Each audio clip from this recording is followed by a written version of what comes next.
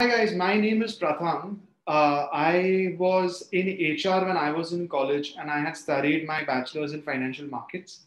And alongside with uh, my BFM, I had studied one of the professional qualifications, and uh, which was ACCA. And towards the end, when on graduation, so in my college three years, I attended college. I was studying for this course called ACCA. For those who know, for those who don't know, it doesn't matter right now.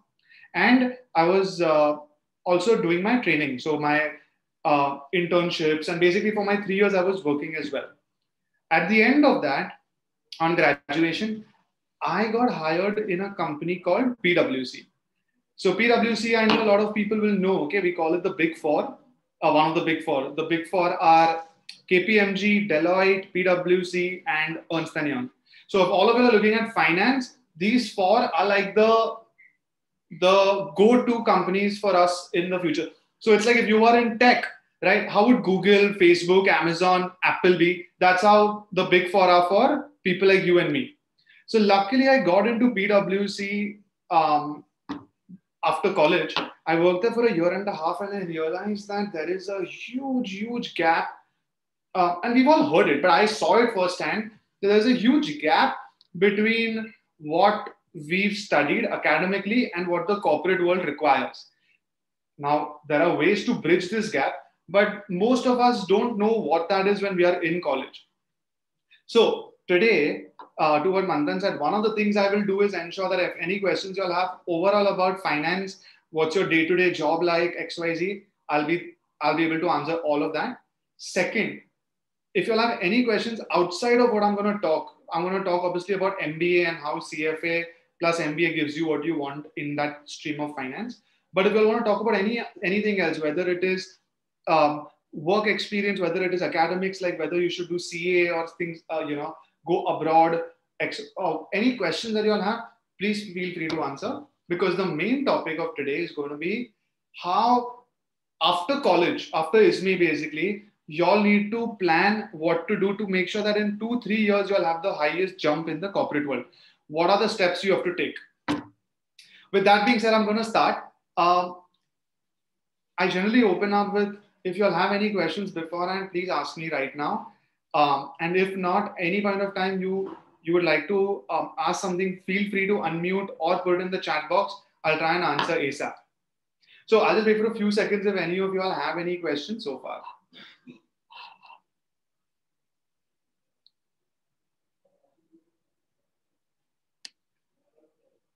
Okay, so let me get started. I guess it'll prompt questions eventually.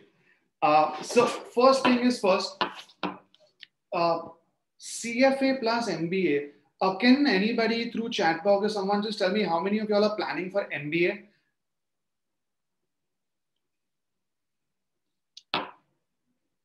Okay.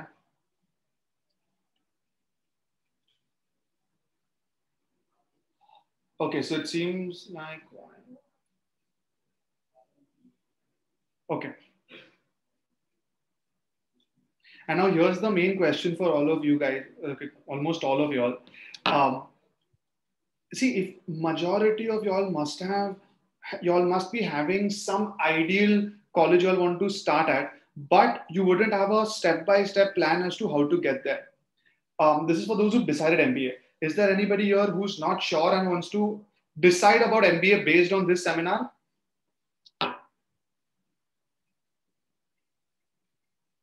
Okay, I'm getting some responses for this also.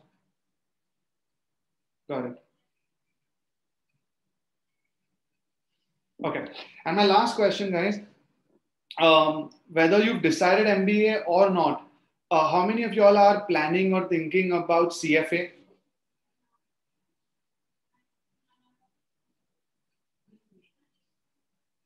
All right, great. Let's get started.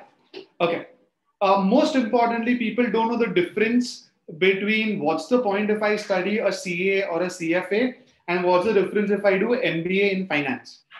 Right. This is generally this is generally the most common question that what's the difference if I study a CA or a CFA and what's the difference if I do an MBA in finance? Do any of you all know that? And guys, if you all know it, I would request if it's not too uncomfortable, please put your mic on and answer this rather than typing it down.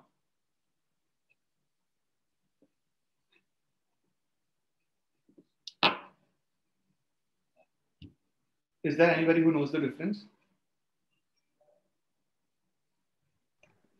So um, I'm yeah. guessing that for CA and CFA, you have to do articleship, whereas for MBA and finance, you wouldn't have to do that and you'll just do a postgraduate degree. Okay. So yeah, that, that definitely is a difference. But that's more of a difference um, which you shouldn't base any decision on because if you think about it like this, doing that articleship is actually going to um, you, you do it simultaneously with your CA. So it's better that you're working and studying versus only MBA when you're going to spend the two years just studying and then you'll work. So it's actually not, you can't decide to do MBA because you don't want to do articleship. Also, a lot of MBA colleges require WorkX. So don't don't get confused between the importance of WorkX that CA and CFAs provide because MBAs will also eventually require you to have to, for you to have that experience. But yeah, it's definitely a feature which is a difference. Anybody else? Yeah, so, so I'd just like to try and maybe wrong. Uh, when you talk about CA and CFA as degrees, they are considered as a professional degree, and you have the authority to sign in uh, if, if you have a company valuation in in terms of that. Other than that, uh, CA and CFA have particular fields where you major at. When you look about uh, CFA's financial analysis, so you know what company valuation means, and if you are a CA, you know the cost accounting and taxation also. Whereas MBA in finance is basically uh, actually a roundabout of everything, but uh, now it depends on what you specialize in furthermore. Awesome. Thanks, Tanvi. So she's um, really, uh, you know, almost it's a it's a 80% correct answer. I'm just going to, in fact, not not she's not wrong in anything. I'm just going to elaborate on what uh, um, Tanvi's been telling us. Okay, so I'm now just going to deep dive into the uh, presentation. So first and foremost, guys, understand the difference. Okay. Um, CFA is a professional qualification which is specializing in finance. So all those who are interested in things like investing, um, you know, who, who, get excited about equity markets and and trading and investing in foreign companies, uh, who, who who get excited about things like hedge funds. I don't know if any of you all have watched Billions. Billions is a show uh, that's that's it's all about people who are specializing in finance. If you want to live that kind of a life, if you've seen the show, then CFA kind of courses get you that. So it's all about uh, the markets and investing as your primary focus. Finance is the primary focus. When it comes to MBA, MBA is like what Tanvi said, it's more holistic. When I and holistic means you obviously learn finance, but you also learn strategy, operations, marketing, HR, there are other components. So you come more from the business side versus just a specialist in finance. So, number one difference is actually what they teach you. CFA is just finance, finance, finance, which is what most of you guys will probably want. And MBA, it tells you that finance I'll teach you, not as much as CFA. Okay, so maybe they'll cover, let's say, 60, 70% of CFA, and then the rest is going to be your other other uh, domains so that you can go and probably not only get a job in finance, but even in any other executive role. Okay, this is the first major dif- difference, point of difference. Okay, I'm so sorry, guys. Too many people are still entering. I'm just admitting all of them. Uh, Pratham, if I can request you to just make me co-host, I'll handle a bit of the, you know, the chat thing and even yeah, that'll be really helpful. Controls. Yeah. Yeah. Um, Okay, I'm just making you the host, Manthan. So after this, uh, just uh, yeah, if there's anything you take over. Sure. There. Should I go on now? Yes, please go on. Thank you. Sure. Okay. So the main differences in the first most important difference when you are making a decision is on the curriculum. This is what you what are you all going to learn. Uh, so just to summarize, CFA is more investment oriented, more specialized in the field of finance. MBA teaches you a lot of it, but it adds to other business aspects of um, holistic learning. Difference number one. Any question in this so far, guys? Okay, if you'll have, in fact, what I'll do is, if you'll have a doubt, now just come and out loud speak about it. Okay, I'm going to the next difference. Okay, before I go ahead, it's very important, okay? For those who are not sure, you guys can start CFA level one, uh, and whether you land up doing MBA, as I'll explain you how this will help, or you decide not to do MBA, but you want to get into CFA holistically, CFA level one, you all can start because it's either going to help you for MBA or it's your first step into completing CFA. Either which ways, doing it is there is no downside. So keep that in mind for the rest of the seminar. Coming to the next point. Okay, it's this is sort of an extension to what I was saying earlier, guys. CFA, your trajectory is only in finance. You become the CFO, the chief finance officer. MBA gives you the option of if you want, you can become a CFO, but you can also become a CEO because the CEO needs to know the other business aspects as well. Now, please understand, of course, this is general. There are exceptions where CFAs also become CEOs and MBAs obviously remain CFOs. But primarily, what you learn, what what what training you're grilled through in these exams, in this, in your uh, whether you call it internship or work experience, CFA takes you to CFO level and MBA takes you to CEO level. Okay. If there's any doubt in this, please do speed up and ask me. Next, what is the recognition? Um, okay, I want to spend two minutes more on this than the other slides, and I really want you guys to be very clear about this. Okay, if you all have gone to a, a place like ISME, if you all are coming from a strong background, you all understand the difference between there are 100 colleges in Bombay, you know the difference between the first, the top 10 and the balance 90 the same thing employers look at when it comes to MBA. In MBA, think about this and keep this as your blank rule. Okay, it's my personal recommendation to all of y'all, whether you're looking at staying in India or going overseas for MBA. If y'all are not doing it from the top 20 MBA schools in India or abroad, don't do MBA. If you get in the 21st one, say no. Believe me, getting into the 21st and below, the the value of the college is not high enough the return in terms of learning in terms of your growth will not not not match what if your friend is in the 15th best college? There is a see if you're in your 10th best and the 15th best college so if, if okay simple example. Let's say you are in the 10th best mba college and i am in the 15th best mba college. If you're in the top 10 i'm in the top 15 between us there is very little difference. Okay but if a third person is in the 22nd, 23rd, 37th best MBA college, there is a massive difference between them and you. So MBA will depend on the school just because you have, you know, you've decided in your FY or SY, I'm going to do MBA. You give these entrance exams and you realize, yeah, I'm not getting into the ones which I want.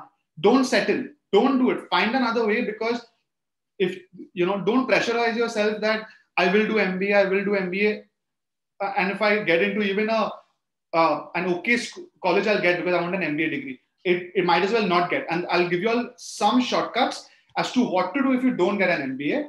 How still can you progress in your career? So I'll come to that towards the end. So compared to MBA, CFA is much more universal. Now, whether I or or you know Manthan, both of us have done CFA, for example, you know, it doesn't matter if we've done it three years apart. It doesn't matter if I failed one of the levels and he hasn't. Um, it doesn't matter at all. As long as we're both CFAs, we have the same ability to go and try and make a mark in the world. The companies that we can interview at, the salary package that is that's a, that that will be offered to us, the profiles that we work in will all be relatively the same. That does not apply for MBA. MBA, if you're from an IIM versus a Welingkar, there is a massive difference.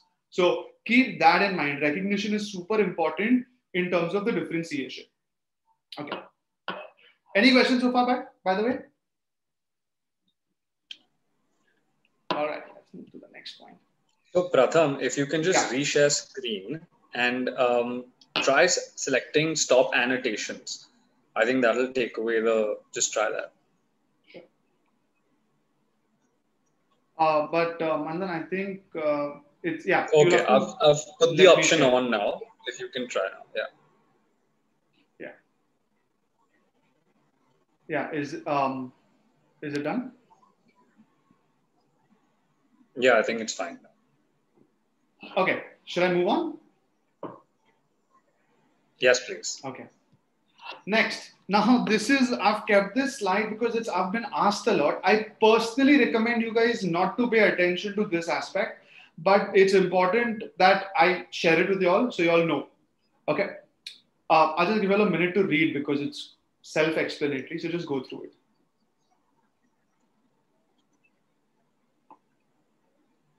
Okay. So I'm just going to finish CFA. I'm sort of rereading what's written, but you can clearly see that the overall cost for CFA is not that much, okay, compared to obviously MBA. In three, three, two, and three and a half lakh, depending on the dollar rate and all, you will be done with CFA within two years. Uh, in return to, of CFA, the I'll give you a so let me tell you a story. Okay, this is really good. So I used to work in PwC, and uh, I had a I have a friend named Sharan. Now Sharan is a chartered accountant. He cleared CA in the first attempt. Now he, when he was working, he's my age. Okay, so we were working in uh, PwC in 2014. He wanted to get into the field of investment banking. Okay, again, investment banking is probably one of the most popular fields in finance. I will explain that. It comes in the slides later, and if I, if anybody wants to know, please ask me more. But Sharan wanted to get into IB. Investment banking is is is uh, an extremely lucrative field in the field of finance. There is a lot of brain work. You're surrounded by the best in the industry. You network with the biggest of the people who are CEOs and investors. So a lot of people want to get into investment banking, and so did Sharan. Now, in, in India, the best way to do investment banking is a combination of CFA plus MBA, not CA. Okay. So he had done CA. So what he decided to do is he said, okay, I'm, I'm any ways planning to go abroad to study uh, MBA. So his MBA was sort of fixed. What about CFA? So he decided that fine, while working, I'm going to do CFA because, like you guys, if you all are attending college, we were working. I mean, eventually everyone's going to do that Monday to Friday bit. So he used to study on weekends, and you know his CA bit helped him. He cleared CFA level one. Level one CA, CFA getting cleared helped him further his chances into the university he wanted. He went there to study. He came back, and now he is working in the dream IB, the investment banking job that he wanted in in in um, Morgan Stanley. Now, the thing is, you need to understand that he planned this three, four years ago, five, six years ago, whatever, and he stuck to a plan which he knew was a step by step process. That's what I want to sort of let you guys know that there is a, a you have a much better chance to get what you all want if you all follow these few steps. So Sharan is this one example of CFA plus MBA gets you into the field you want. Uh, similarly, I have a couple of other friends. So I'll, I'll spread out the stories and tell you all so you'll have some better context with India. In Bombay, what happens when people just few years older than you all are doing CFA or MBA and getting into the field of finance? Okay. So if you go to the investment part, CFA 3 lakhs over two years, whereas an MBA, if you see, I'll, I'll share the website link with uh, all of y'all who want, I forgot the link. It has the average salary packages from each MBA college in, in India. So you'll have some understanding of what that is like. Uh, please don't fall into guys. One stupid thing I've seen so many people do is they read the newspaper when they're in their FYSY. Uh, if any of you all read yet, okay. So these guys they read the newspaper and they get all like you know, oh we read that this one person IIM got hired at the age of 22, 23 at a one crore package at Google. So look, if you are one of those people, then any which ways me suggesting you makes no. You should suggest me stuff but if you're out of that exceptional bunch of people, don't get excited that, oh, MBA or CFA gives me so much money. Go with the average and talk to people around you like us who can share the real fact, what the salary packages are, what your actual profile is, what companies don't want CFAs, what companies want which colleges ke MBAs. So this sort of segue I took or this detour I took just to remind you all of the don't fall into these stupid traps or pitfalls. People just get too excited with the, you know, the exception, the brain, the anomaly in the entire batch, and they get excited about it. Don't fall within that. Okay. So coming back, uh, like I said, guys, if you guys um, uh, do it from the top 20, it's great. Uh, for MBA, only then do it. At least this 20 lakhs is for India. Overseas, I mean, whether you want to get it on scholarship or education loan, or if you guys are well to do enough, go for it. But please be aware that after you go there, what is it that you want to do? Do you want to stay there? Do you want to come back? I have people who went there for MBA, stayed there for three years because they calculated that if I go to uh, US, uh, you know, do my MBA there, and then I get picked up in US, the salary in US for three years will be enough that I make make back enough that I've paid for MBA, and then I can come back and start working in India. So that is going to be situational to y'all. The last point is what somebody I think uh, I think Rudra asked, uh, was we were talking about in the beginning. But the last point is super important. MBA for two years on an average, when you do, you get stuck without WorkX. So of course, if it's an IIM or an ISB or some, you know, uh, XLRI or Jamnalal Bajaj, and then you waste your one or two years, it's fine, right? But I can guarantee you all this. I've been working from the age of 17. Okay, I was very excited to start working uh, when I was in college, uh, and I realized that the power of work experience is very rarely matched with a good college name. So work experience is something which you should do by default.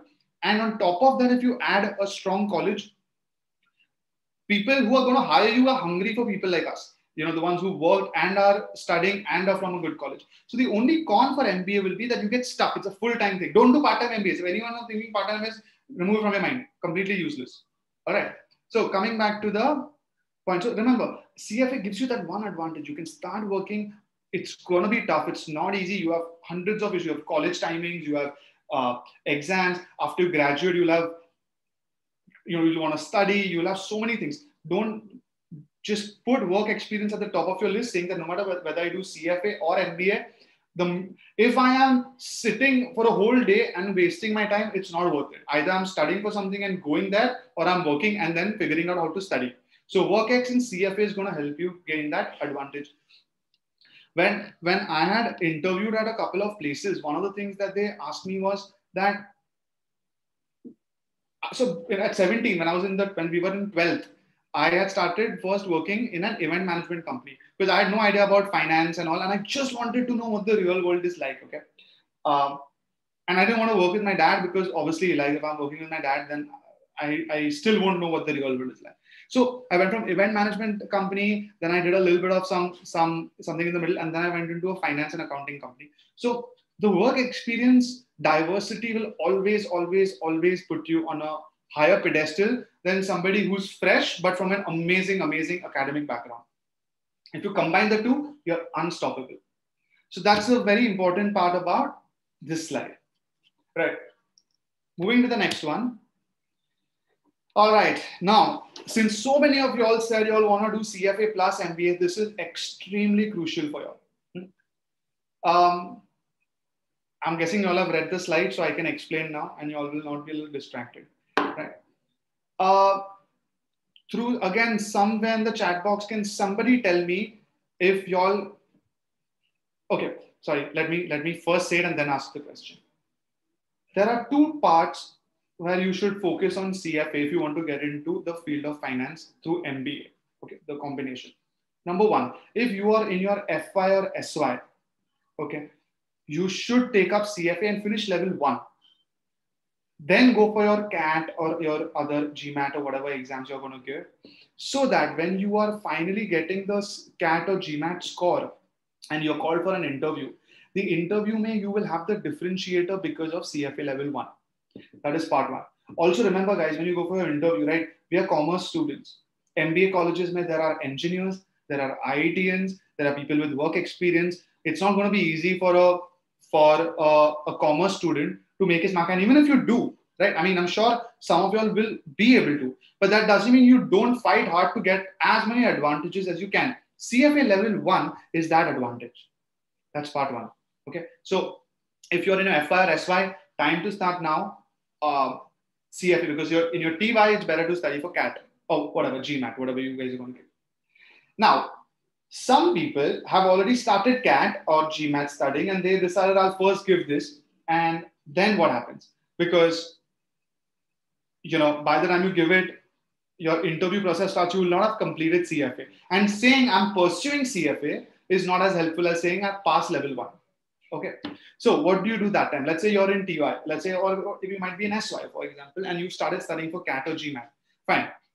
If you don't want to switch a B immediately, take your time, finish off your CAT, finish off your GMAT, and then after that, go for the interview. And then, of course, you have to get in on the interview on your merit based on your history as well as your marks.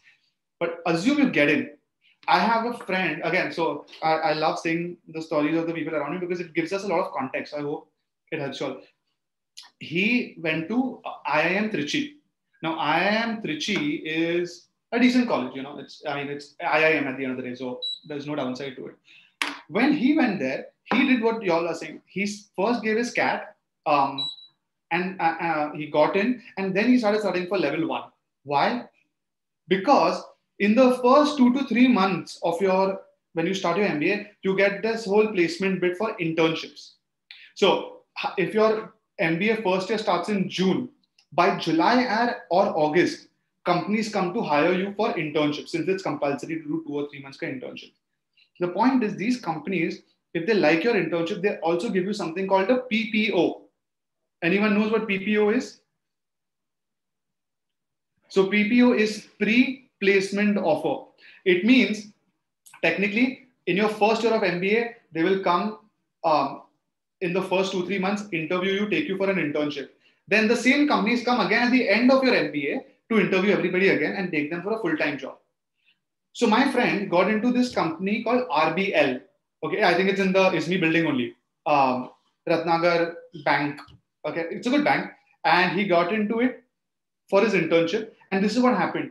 Because of his, so he, he got into it and then he did performed well and they gave him a PPO, pre-placement offer that uh, don't worry, you have your job ready as, as soon as you finish MBA at this package. So he was sorted.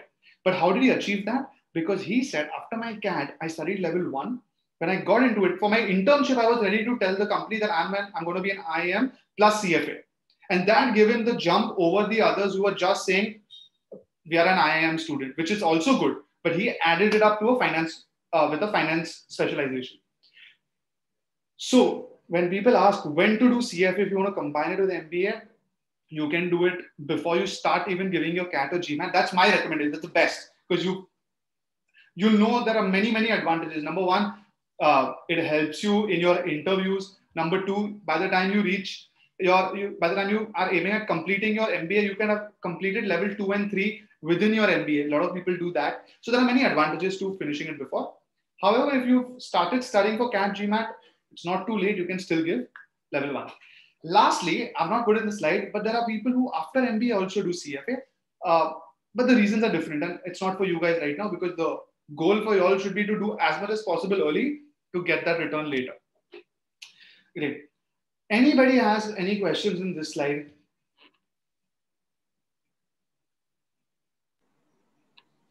Um, instead of an MBA, uh, if you replace that with something like a master's in finance, you know, uh, does that still work?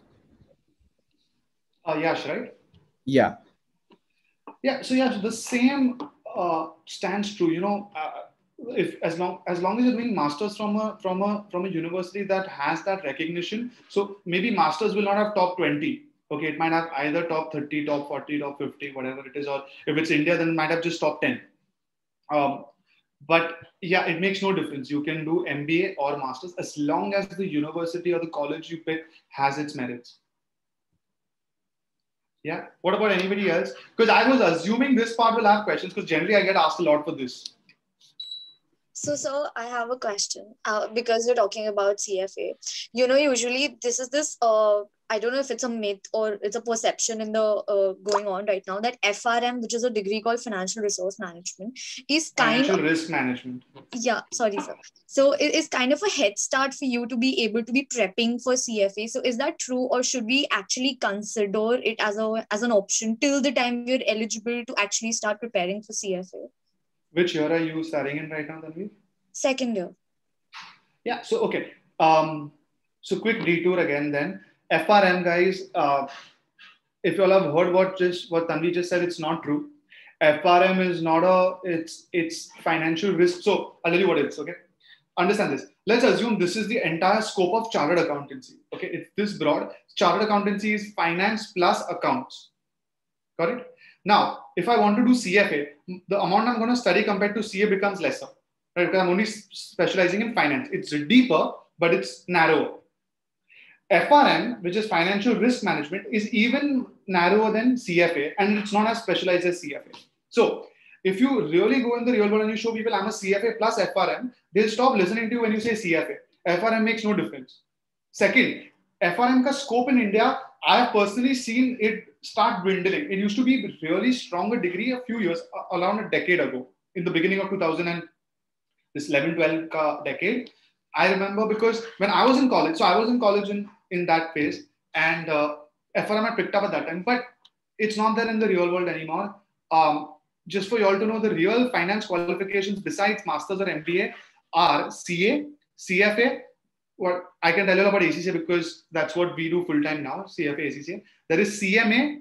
There is CP, CMA is US based uh, management accounting. There is CPA, which is the USCA. There is actuarial science, which is the better version of risk management. Okay, it's the it's the sort of the premium one. It's like for the ones who have who want high risk, high return kind of courses. It's super tough but super rewarding. Um, and then there are smaller courses which are not as recognized. So I'm not. I'm just saying it out for your knowledge. But courses like CFP, which is financial planning, that also has a little bit of value. So FRM, remove from your mind. Um, in India, there used to be something known as cost accounting.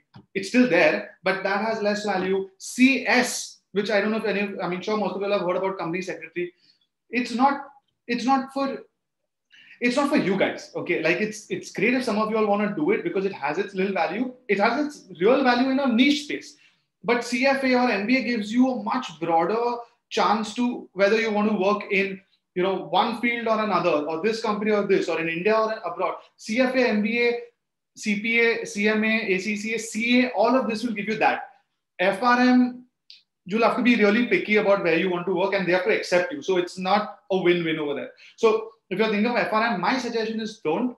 Secondly, guys, I've told you CFA, if any you are in CFA, whether you're in your first year or second year, there is you you're obviously eligible to give the exam in your TY. But that doesn't mean you don't start right now. If anybody, if you guys are an FI thinking I'll start in my TY, mistake, huge mistake. Don't be a fool. Don't underestimate the, the amount of time it will take to study and don't overestimate how easy it will be. First and second year, I'll chill. Third year, I'll start working, uh, studying. If you're in your second year, then we, I don't see any reason why you don't have to start with either CFA or CAT.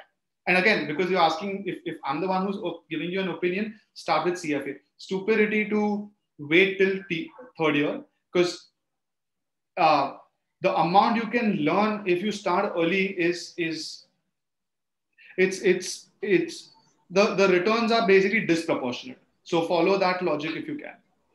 So Pratham, here I just had a slight uh, query.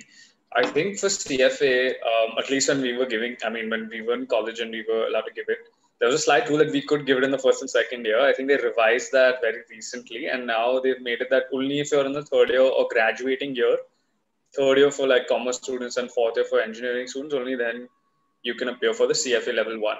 Because they realized that you know we were actually completing our levels during our undergrad and that's not the same as it is abroad. So it's slightly changed that. Yeah um, so i'm saying CFA, that hmm.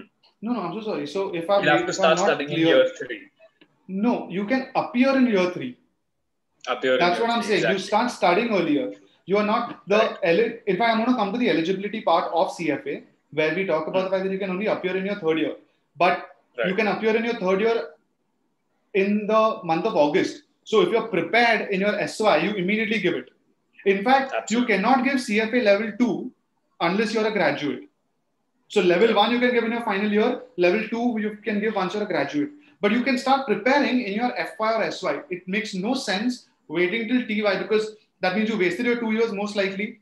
Second, Correct. in your TY, if you are pressurized with your third year BCom or whatever that is, that's another additional burden, and you'll essentially waste time. So, just it's completely incorrect to wait for a third year if you're looking at either CAT or CFA. Start in your second and best start in your first.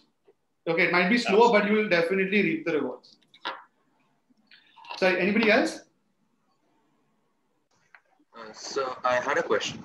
So I actually, um, if I want to work in the, and if I want to do my MBA in UK, then uh, should I also do CFA and then go, like CFA ka level one and then go for an MBA in UK or like as in does it have the same amount of how do I say this value in UK that it does in India or should I put, do something? Yeah, so uh, CFA luckily being a US based qualification is internationally recognized. It's the number one officially in the world, the number one qualification in the field of finance and investment management which means whether you go to UK or to Australia or any, any other European country or Canada, CFA is recognized and it will help you in terms of them evaluating your profile. And look, that's the whole point, right? Uh, that worst case scenario, give level one and just wait. See if you want to do level two or three, but at least do level one because number one, any which way it doesn't clash with your MBA, right? It's not like you're gonna you can only study MBA for MBA or only study for level one. You you can do level one, finish it in six months, pass, and then study your CAT for your CAT or GMAT or whatever exams you want to give. Uh, but 100% go with this level one on your back because if you want to get into finance, MBA or masters in finance, it will help you. Got it. Thank you. Anybody else? Uh, way, again, I'm saying, guys, I have personally been doing a lot of work on CFA for the last few years. We've trained thousands of students by now. So anything with respect to what, uh, whether it's eligibility or when to do it or how difficult is it or how much time it takes, all that, ask, feel free to ask me, right? Right, moving on now. So talking about CFA, I'll just quickly brief you all about CFA for those because clearly there is some confusion still. Um, I'm just going to quickly run through it. Yeah, please read because uh, again, self-explanatory.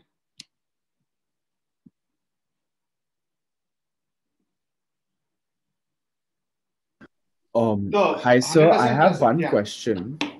Mm-hmm. So, um, okay, so like this might sound uh, not uh, logical, but like, does it make sense doing a CFA if you don't want a career in finance, but you do want to become uh, an angel investor eventually? You know, as an early retirement plan. What do you think about that? Yeah, that's uh, no, that's that's it's a rare question but uh, the short answer is you can because simple. I'll ask you a simple question. Most I mean, because answer. Like the way you put it, you can do it while studying for your third year or your second year. You can do it while doing other stuff as well or while working. So it doesn't harm doing it anyway. Yeah, I'm so sorry. What's your name? I don't. I can't see your name. On oh, just... sorry. Hi, uh, Yash. Okay, Yash again. Great. Um, yeah so yeah, like I said, it's a it's a rare question, but the answer to this is yeah, you're 100% right. Uh, I'm sure most of you all would have heard or will have known about people who are older than you all who've completed CA. Okay. Yeah. But then either immediately after after a couple of years of studying CA, they're not in the field of finance or accounting at all. They've yeah. totally divested into another field. True. Right that's not same with engineering same with engineering yeah same with engineering right yeah and that doesn't mean that they studied it uh, and they failed at it or something there are two reasons you do what you just said number one you you you dude you're 18 19 20 when you take that call you don't know what you're going to feel at 25 26 and you might as well not enjoy finance so there is no reason to stick to finance if you hated it even though you began it so a lot of people shift because they realize it's not my calling, but they have a good professional degree on their in their pocket that tomorrow another pandemic happens, there's a disaster, and they have to go back to something, fall back on something. They have their CA or CFA. That is one. The other is people like you who genuinely are willing to aspire, saying that I will work. I don't know what the benefits are, but since I'm doing nothing, might as well put it to good use. Okay. And when I figure out what I'm going to do with it, I'll use it that time. Otherwise, I'll keep it with me. So yeah, you might not become an angel, or you might change your mind basically of becoming. But yeah. that doesn't mean your CFA degree or qualification is a is a waste.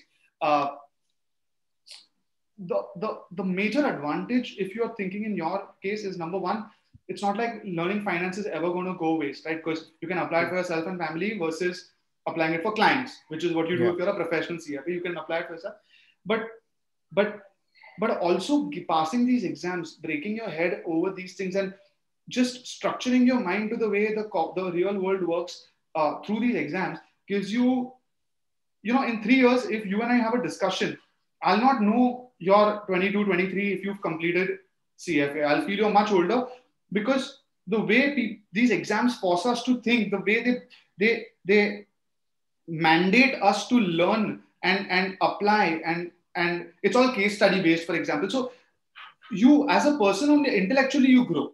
Uh, these things are not going to be quantified in any job or any business you do, but it definitely makes an impact in the long run.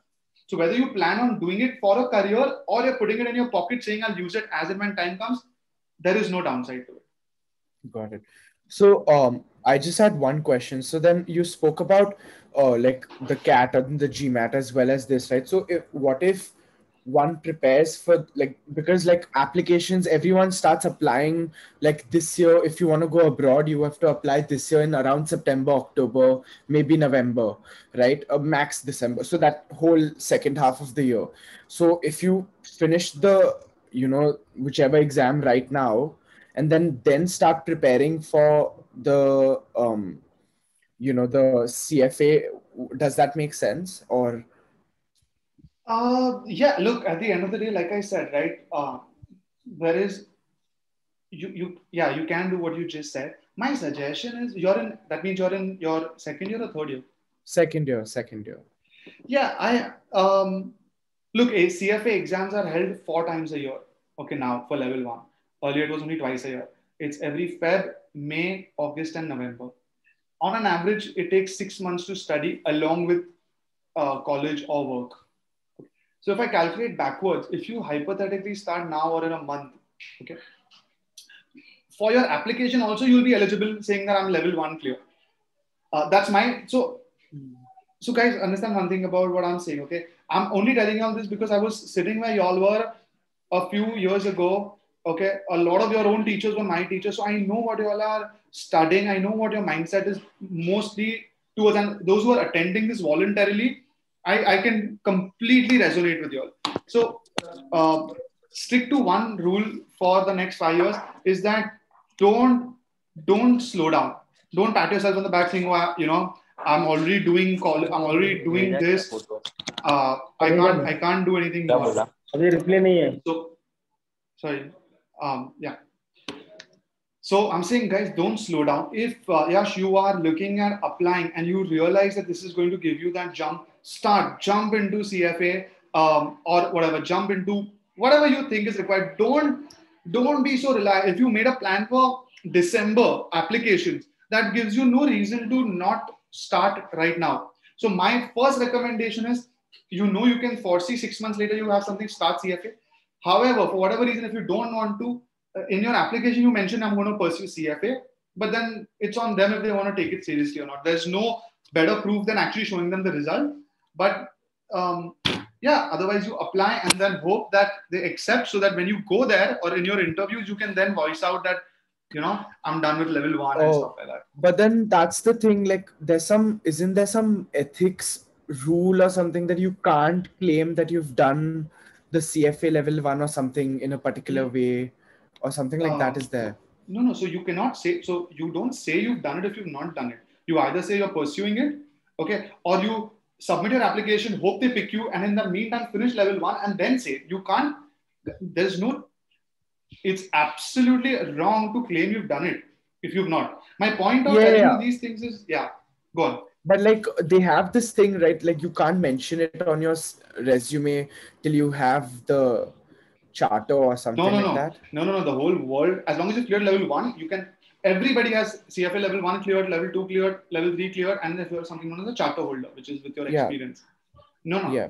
absolutely not. Um, the whole world, including the biggest firms, right? Your JP Morgan, your Citibank, your Bank of America, the Big Four, Grant Thornton, name the companies which hire uh, CFAs, right? Ambit, CRISIL. Uh, they, they hire level one people. How do they know they are level one? Because you have it on your CV. So no, no, there is nothing unethical at all. Just don't lie, obviously. Got it. Yeah. Yeah. Okay. Uh, moving on. Um, so to what Nandan was saying, right? You need only these two criteria. there are more which are ready to work experience, but I decided not to put it because I'm sure it won't be applying to any of you all. So long as you're in your final year, you start giving the exam. But if you're in your first year or second year, start preparing. And you know what? What's the worst thing that can happen if you prepare now, right? You'll overwork yourself on weekends. You'll probably go for a few less, lesser plans. You might fail the exam. You might spend a little more time, money, effort. That's a downside. The upside is literally unlimited. Right? If you pass it, your brain will literally start understanding the world of finance in your normal day-to-day scenario. Two, you're graduating with more than just your degree which you started in your first year. You thought you'll only come out with the with BCom and BME. Here you have your CFA. Third, any plan you have, whether it is to work or for MBA, CFA level one is there to at least push you towards that goal that you have. No downside in starting and screw it. Now, worst case, leave it in the middle if you really hate it, but don't not start it. The worst mistake I've seen is you decide to delay, procrastinate, and you make up reasons that you are busy or you have a better plan. It's it doesn't work. And look, the, there are enough people who do that right? It's damn good in a way for you if you're not like that because you can beat 90% of the competition who are any which ways lazy. Don't be that way focus hard on saying that what can I do today that I'm hoping will give me the rewards because you can't see your next five years. So just do whatever is obviously, you know, the world is telling you that, yeah, this is recognized. So do it. And doesn't have to be CFA. It can be anything else, but do something along with your with your free time, right? It, even if it's not academics, but but but don't lie to yourself that I'll do it in my third year because today I, it makes no sense. It never no, doesn't make sense. Okay. Uh, quickly again, guys. So uh, not much for you all to focus on right now, but only look at level one. Uh, all the three levels of CFA have the same 10 subjects, but right now just focus on level one. Uh, can you all see my cursor? Yeah, okay. So uh, FRA, financial reporting, this is an accounting subject. corporate finance is a subject where how do big companies make decisions involving money? So this will be things like in like you know I have you know, one crore and I want to invest it either here or here, which will give me a better return. How to calculate that? That's corporate finance. Equity investments is equity, you know, it's about stock markets. It eventually comes into valuations of companies and stuff like that. Next is fixed income. Like it sounds, fixed income is debt. Um, right so you put money in your bank and you get fixed income you put money in a in a company bond a corporate bond you get fixed income derivatives super interesting for those who are finance geeks. Uh, it's a little complex for those who've not studied it, but it's, it's, so I'm not getting into it. Okay, right now. Alternative investments is things like real estate, gold, now now crypto. All of that will come into alternative investments. Portfolio management. Most CFAs who want to become CFAs for the qualification get into portfolio management. Level three is almost 100% portfolio, like not 100%, but majority is portfolio management. And what is portfolio management? let's say I'm a CFA and I believe I know that all of you guys are putting your money in the bank and you're getting a 6% interest, for example. I come to each of you all and I say, guys, listen, instead of that, give me your money. I will put it in different places because I understand all this. And instead of 6%, I'll give you a 12% return. And in return of that, you give me 1%, for example. So you make a you make 11%, which is 5% more than here. I take money from you know, all of y'all, right? I take little money from Manthan, I take little money from Yash, from Rudra, from from all of y'all, and then I realized, okay, now I have enough money to invest and get gain big returns. And if I give that to y'all, I get a fee. So your risk will become that you are investing in me instead of the bank. And your return is if I come through, I'll give you a better return than what the bank does. That's what portfolio management is all about. Okay. So uh, somebody, I think Yashini asked me that what happens if um, you know you, you don't get into cfa you can do this for your own family. Your own savings also you can use these kind of uh, skills right? Ethics um, is a subject it's simple you just got to know what's right versus wrong.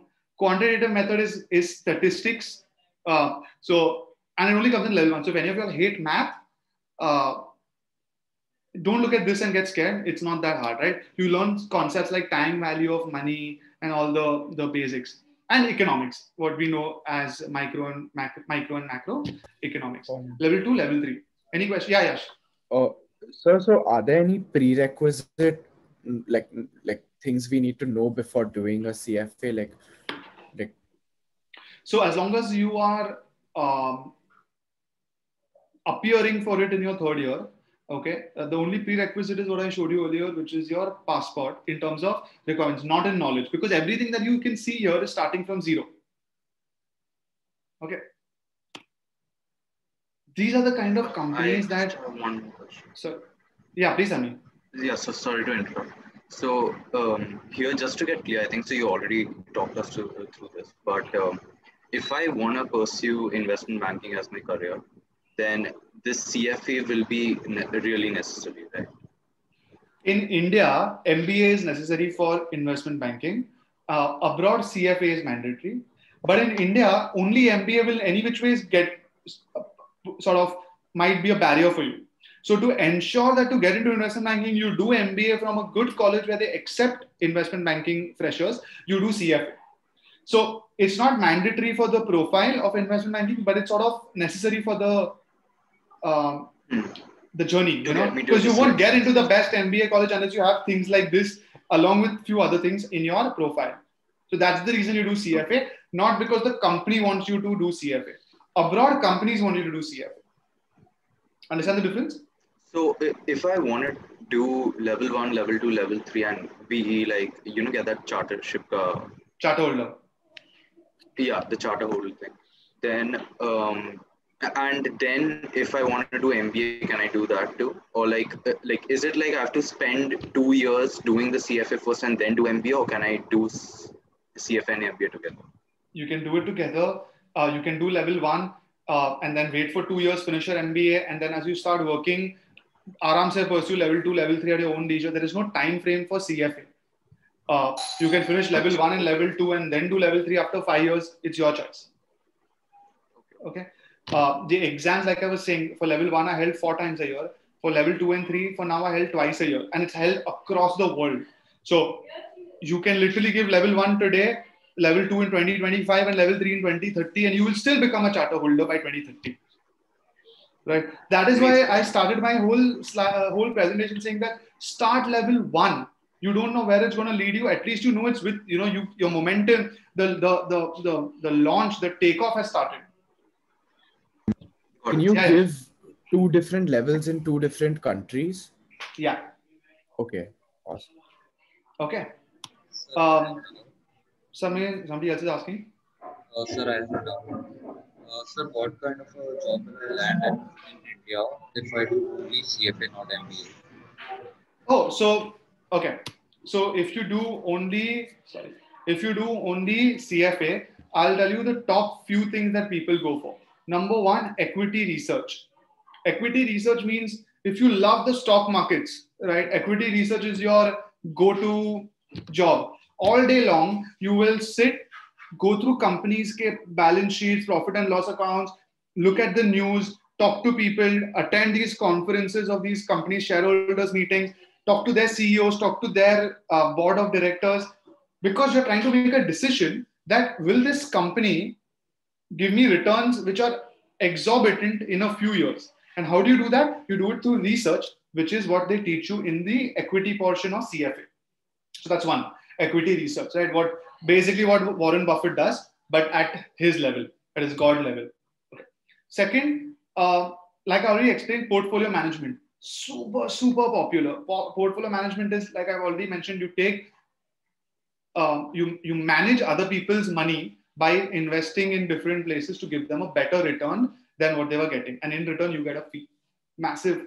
Uh, if any of you have seen The Big Short, okay, what Christian Bale's character was doing was he was a portfolio manager. I mean, he was a little hedge fund manager, but portfolio manager a little junior. Third is hedge fund manager. Now, hedge fund is like a mutual. Anyone knows what mutual? Everyone knows what mutual funds are. Someone please. Yeah, say no. Yes, sir. Tell me, tell me. So tell me what mutual funds are.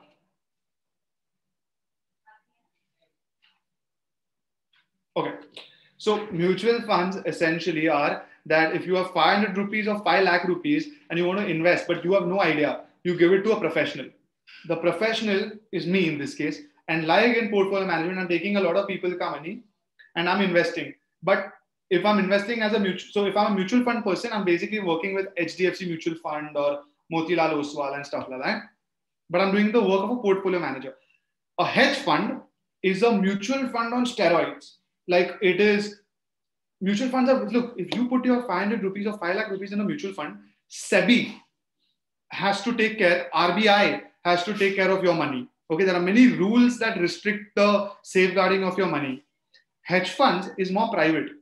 Hedge funds has less rules. So if I have 5 lakh rupees, I want to put it in a mutual fund and get a 12% return over time, that's safe. That's great. But if I want more, then I have to take a risk, give it to a hedge fund manager who probably instead of 12 will give me 24%, but he can also lose it. So because there are less rules there which are safeguarding my money. So that's a hedge fund. In India, hedge funds are a little lesser than abroad, but hedge funds is a big, big reason why people do CFA. Fourth, corporate finance, uh, working in these kind of, you know, PwC, KPMG. So when I was working, there were CFAs ka full section is there. I have a friend, uh, her name is Devanshi, who works in a company called CRISIL. She's a, only a CFA, CFA level three cleared, only CFA. She um, she was when I was in PwC, uh, PwC, she was with me, but that time she was just a graduate. Then she uh, studied a CFA, finished level three. She works in a company called CRISIL.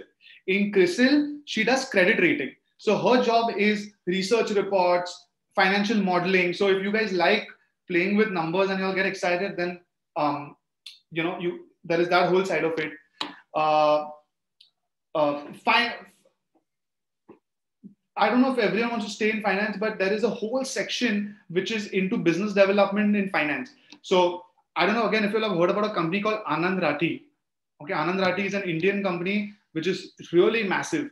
Um, so through and through, I know somebody who was a level two cleared. Now, I don't know how true this is, but she was a level two cleared. And she was saying that I was earning 8 lakhs from Anand Rathi.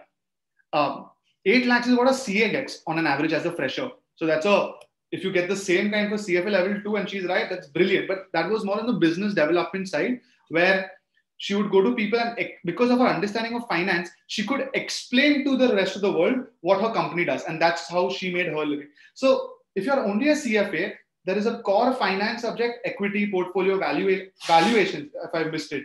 Valuation is something I personally used to love.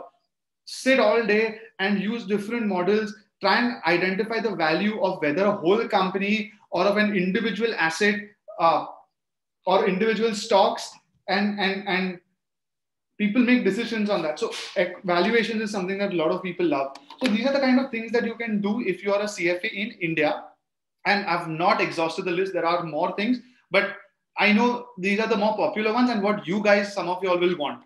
So that's the sort of gist or the list of CFA uh, scope in India. Anybody has, I'm sorry if I've, uh, did I answer your question? Whoever asked me this? Yes, sir. Thank you. Okay. All right. And uh, yeah, so like I was saying, right? Uh, look, this is the company Anand Rathi I was talking about this DSP mutual fund is also hiring a lot of C. I mean, all these companies, man. Um, yeah, yeah. You, I have a faculty member who is from ICICI Security, who's a CFA, and he got hired into this because of. So, uh, and when I personally have placed students, I mean, we as a team have placed students, have been in literally almost all of these companies as CFA level one, two, or three. Okay. And the best part, you don't even need experience if you're just a level one. You ex- they expect you to be to be a fresher. So that's the advantage that you'll have. Okay. Lastly, guys, to conclude this uh, entire thing, my suggestion is talk to more people, especially who are CFAs or MBAs. Don't worry about how, like I said, that investment slide I've put in the presentation, but it's not the key. Okay. Don't worry about the cost or the difficulty. Um, I'll send across the slide, this presentation to Manthan if you all want, and y'all can um, go through it for your own understanding. Lastly, figure out if CFA, MBA, which ones apply to you both. One, get started if you're still not sure, and you can reach out to us. We have complete experts in CFAs, whether it is our faculty members, whether it is people who are working in corporates at senior positions, whether it is just you want counseling and advice. Um, and if you'll want any help right from from training to what kind of material to use when to start how much to study how fast to go is it the right time all of that um, so yeah, so this is sort of the, the conclusion of my presentation. And now, if anybody has any more questions, I'm more than happy to answer. And Manthan, one thing, um, I have a form which I want everybody right. to fill. Should I share that with you, or how do I should I share it in the chat box right now? And you can share it in the chat box right now, so whoever's here can fill it right now itself. Yeah, so I think if you can just uh, yeah, filling it right now would be really helpful. And in the meantime, I can ask everybody. Uh, sorry, I can answer everybody's questions. Oh, uh, hi, sir. I had uh, so two questions. So first thing, so what does uh what services does uh, Zell Education provide in terms of helping you uh you know smoothly get done with your CFA? Sure. Um, one second, guys. So I've just posted. Uh, Manthan is saying only host and co-host can send messages. Mm, no, okay. Just send it to me then. I'll post it on the chat. I think it's allowing everyone to, but just send it to me. I'll send. Khushbu? Yeah. So, um, one second. I'll just have it shared with you. Just share this. I'm sending you this. Share it to Mandana. It's not, it's not going through from my laptop. Just share it with them. Manthan, uh, Khushbu will share it with you. Sure. Okay. So yeah, I'm so sorry. Please ask me now. Whatever you're asking. Uh, again. Yeah. Uh, so I wanted to know, like, what services does uh, Zell Education offer in order to like, uh, like help you, you know, smoothly get done with it and like because like for example at this stage at least like i think most of us have no idea in terms of where to source the study material how to go about the studying process how to structure your time to actually study and work or study and college and whatever whatnot no i completely understand great so yeah. in fact that was one of the major reasons that uh, we sort of started zell uh, because okay so at zell so uh, after PwC, me and a me and a co-founder, we started Zell um, with the intention of trying to bridge that academic and corporate gap that we saw. Uh, one of the ways we realized is because we were all finance students, uh, we realized that training in finance is is not the way we want. So we provide training for courses which have scope in India today. So courses like CFA, like ACCA, like CMA, like CPA, like almost all, like, we don't do actuarial science as of now, but we know because we are in touch with that whole company, um, the, the, the portfolio of companies that you must have seen some time back, they let us know what they want. So what we do is we design uh, the training mechanism. Uh, so what is the right time to start? How do you go about with the registration? What kind of material do you want? Is CFA also, if for somebody would ask me only CFA, if you want, if you come here, when you go for interviews, I don't say we, you can't go just with CFA level one. Then you have to learn, for example, a little bit about Excel, basics of modeling, and then you go. You have to learn how to communicate in a slightly professional manner. You need to know those those soft skills have to be there. So we help with all of that, where we we guide you. First of all, is it so today Yash can come and ask me that I want to do this, and I might tell him that it doesn't seem it's the right course for you, right? Instead, try doing only MBA or you know whatever. I'll send you to the right place if I can help you.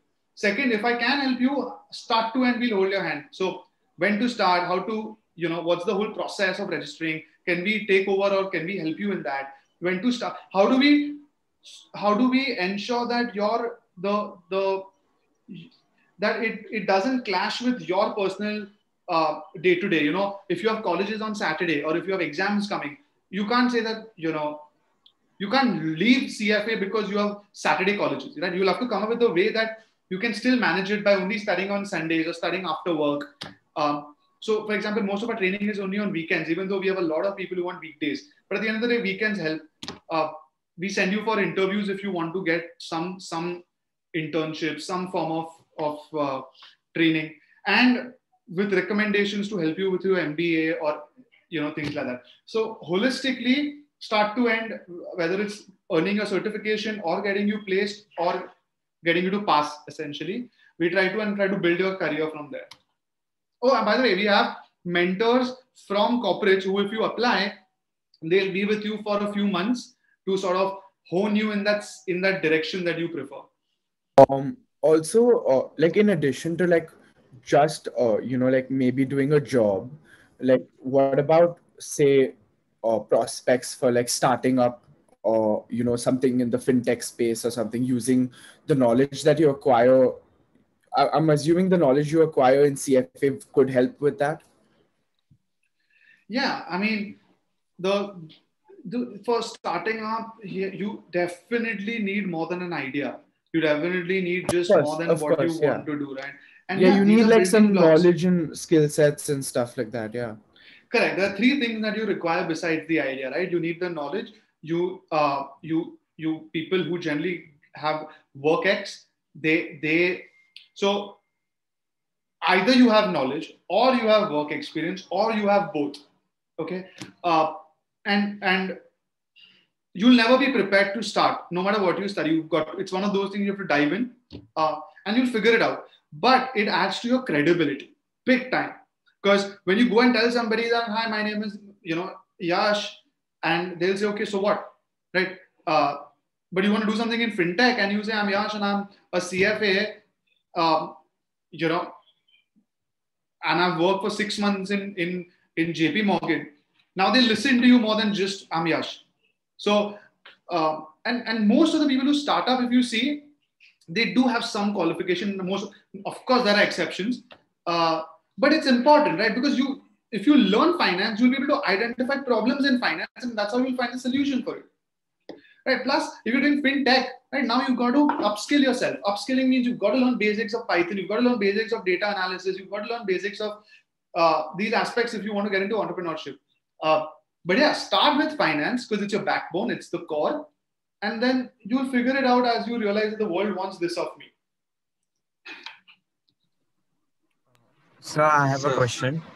Uh, can you uh, differentiate between acca and cfa and also do we learn about investing in acca sure.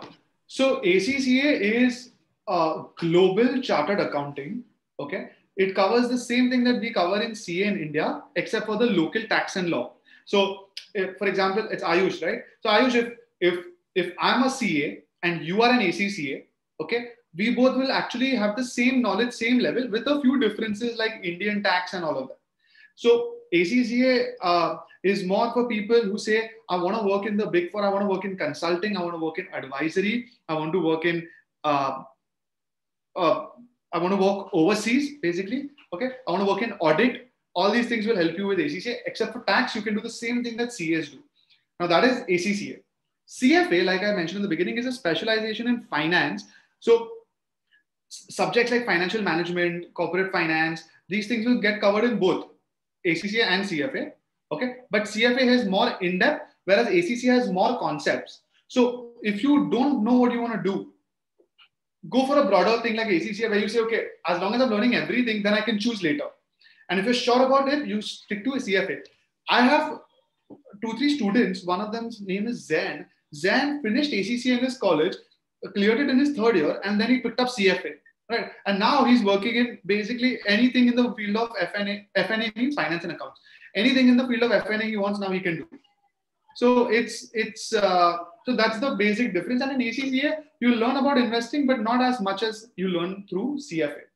See, ACCA is more broad CFA is more deep. Thank you. So I have a question too.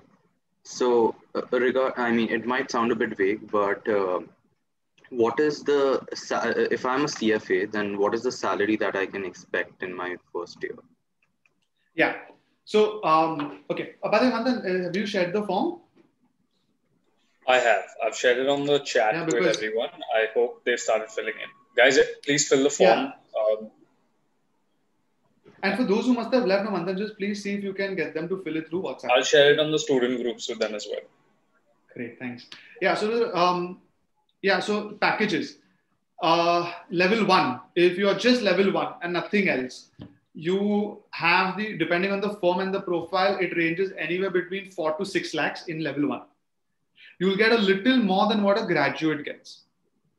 Okay, so if a graduate is getting four, and that company will get five or six. If a graduate is getting three, you'll get four. That is level one. Level two is extremely important because it will matter where you see between level one and level two, the minimum amount of time it takes is six months. So on an average, it takes a year.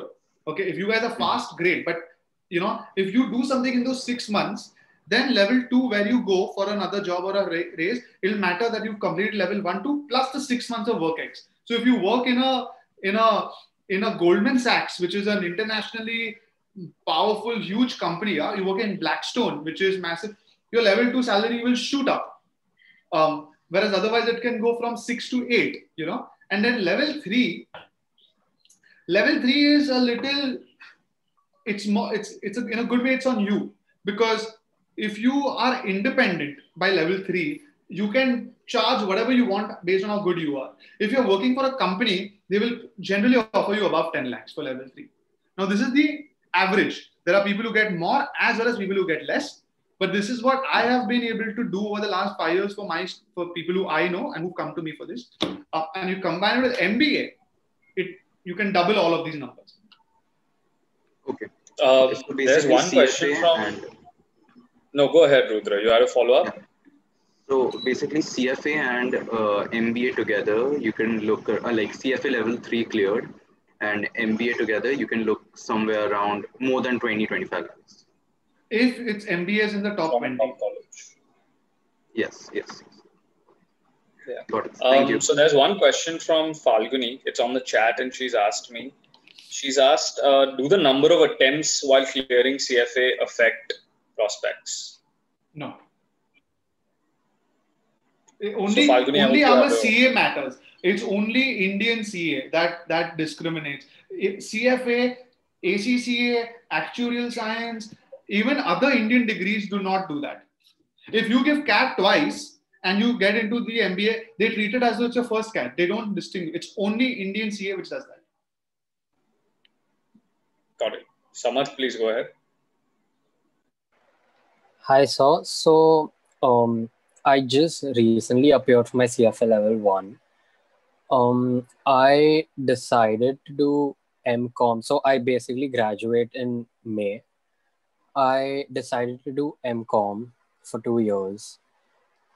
But now, after you know going through your presentation, I'm reconsidering giving GMAT or you know, um, probably to get my masters abroad. So now, can you suggest if I should go ahead with my plan of action to go ahead with MCOM or, you know, start preparing for other entrance, for MBA entrance examinations? Okay. So for everybody, this is a very important thing. Okay. I, I, I've actually made a big post of this on LinkedIn and I had a lot of people who reacted to it. Remember what I'm going to tell you, okay? The first academic decision that you make in your life in terms of which college or CFA for you in your case, right? The first academic decision can be based on things like this. I do the presentation, you you get a little, you know, uh, you understand more. People around you tell you that, listen, Samath, I think you are really good at this. You should do this. You you believe others for your first academic decision. Okay. You you do what others are doing. You do what you hear about because you don't know much. But the second academic choice always has to come out of self awareness. Now, what I mean by this is you are not asking the right question whether you should do MCOM or MBA. The right question is leave both. Okay, leave CFA also. First, decide now that you've gone through a little bit of CFA, you understand a little more about yourself. What is it that you feel you like? Work in a couple of places if you have it. Decide that I think now I want to go in this direction. And to get there, do I need to do MBA? Do I need to do MCOM? Do I need to do level two? Do I need to do all? then you take the decision don't go don't still make the second major decision of your masters or mba without just saying that okay i'm just going to collect degrees you know don't don't don't fall under that trap okay so i would suggest your question you should ask yourself is that um, you know I, I think i want to get into for example hedge funds you know because you spoke to 10 people you spend a month researching you put in effort and now now you believe that that makes more sense what do you have to do to get into a hedge fund kind of a company if you want to work in India? Is MCOM the right route? Is none of these the right route? Then take that step. Do you understand? So I'm sorry I can't give you a direct answer, but your question will not, I'll misguide you if I tell you, yes, leave MCOM or stay with MCOM. So my suggestion is decide the next step and then calculate backwards. All right. Thank you, sir. So there's one more question, Pratham, on the chat, and I think this will be the last question because I do believe they have classes at 3:30. Um, so this question from Shubham, and he's asked, in case they do go the CFA path, but they don't get into a top 20 MBA college, what should then they how how should they alter their choices then? Yeah, so it's a good question, man. There are a lot of people who go through that dilemma. Just don't do one thing which everyone does.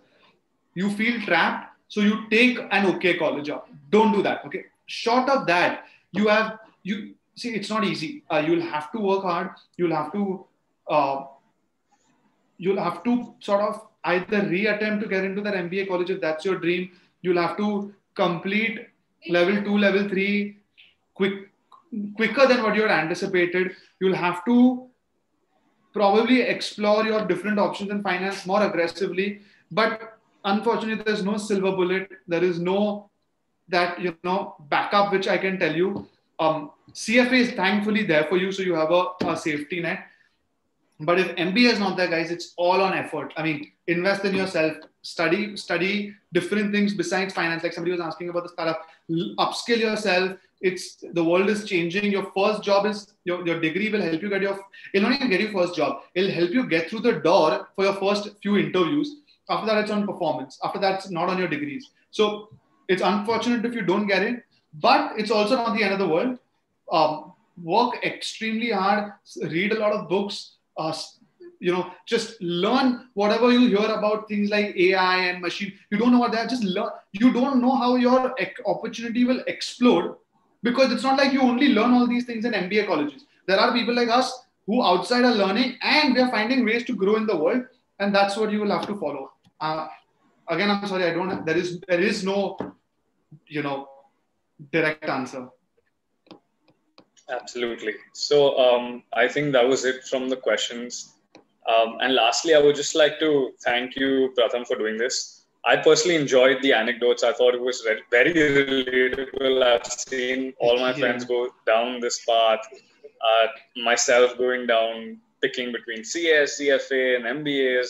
So I think it was really, really um, uh, obviously contextual, and it felt the anecdotes were really spot on. So thank you so much for doing that. All the students they've sent me multiple messages that they really found the information very interesting and useful. So um, thank you very much. And if you can share this presentation, I will definitely forward that to them as well. I've I'll have Kushbu share it with you. Perfect. Thank you so much, Pratham. And um, okay, guys, yeah, thank I you, thank you, will... for all of this. Absolutely. And yes, I will be in touch with Kushbu for uh, anything else that comes in the future as well. Absolutely, guys. Take care. Really nice talking to you all, and thanks, Manthan, again.